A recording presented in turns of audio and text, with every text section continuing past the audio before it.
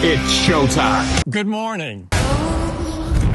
Vision OS 2. Creating a spatial photo with natural depth. Hold your hand up and tap to open home view. Mac Virtual Display can be expanded even further. iOS 18. Go dark or style with color. New Control Center. Hidden apps folder. Schedule your message, many new effects, and these categories to sort your mail. Topographic maps. Tap to Cash. Game mode. Photos. This new design is gorgeous. Call from Gam Gam.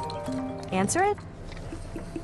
Actors and their character names in real time. Screensavers on Apple TV. A redesigned Photos face, training load, the Vitals app, and translation. Live activities coming to Apple Watch. We're bringing Calculator to iPad. The tab bar morphs into the sidebar. Handwriting just as flexible as typed text. macOS Sequoia. I can see what's on my iPhone and can control it too. Quickly place tiles side by side. Replace your background, the Passwords app more games. Apple Intelligence, the next big step for Apple. It draws on your personal context from across your apps. It protects your privacy, prioritize your notifications, brand new writing tools, create totally original images to make everyday conversations even more enjoyable. New era for Siri. You can speak to Siri more naturally and can answer thousands of questions. Siri will take actions inside apps, find something when you can't remember it. Tap into ChatGPT's expertise, AI for the rest of us. Thank you so much for joining us.